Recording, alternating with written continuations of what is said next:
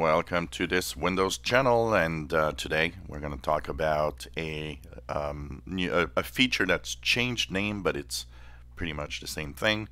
Focus Assist or which basically was called Quiet Hours before.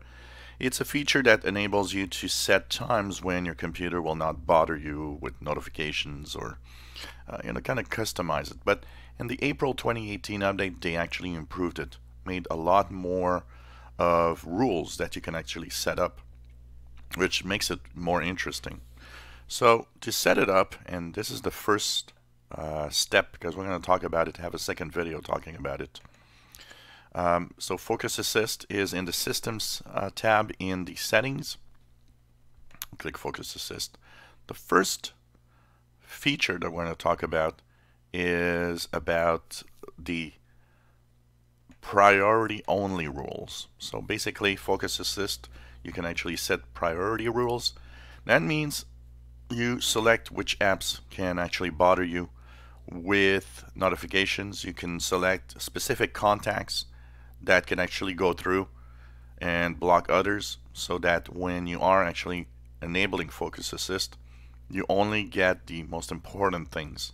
So once you set priority only, you have just underneath customize your priority list. When you click here, you will see what you can go and let through.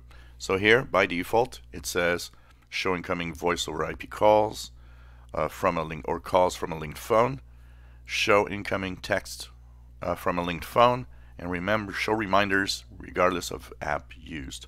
So of course you can remove all of this or just customize. You know, for example, I don't want to have necessarily text messages when I'm on Focus Assist. I don't really have to, uh, want to have or see the link calls when I'm in Focus Assist and uh, in, in, in reminders.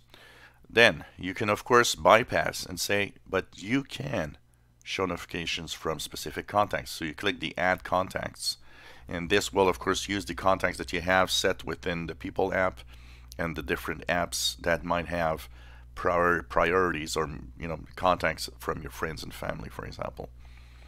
The other one is setting apps. Show notifications from the apps you add to the list below. You can click here and choose an app basically depending on your computer. So you can see here all the apps. So you can choose which one will still go through when focus assist is enabled. And that of course you know sometimes you might have one app that has a specific usage that is very important to go through. Unfortunately, it works only with apps that are, um, you know, apps from the Microsoft Store. It doesn't enable you to use it with desktop 32 apps, but still, it might be useful, or you can just remove everything from there. And once you remove everything, so here you see Xbox, I can click remove. Uh, Xbox Gaming Overlay, you can click remove, and it means uh, no notifications at all.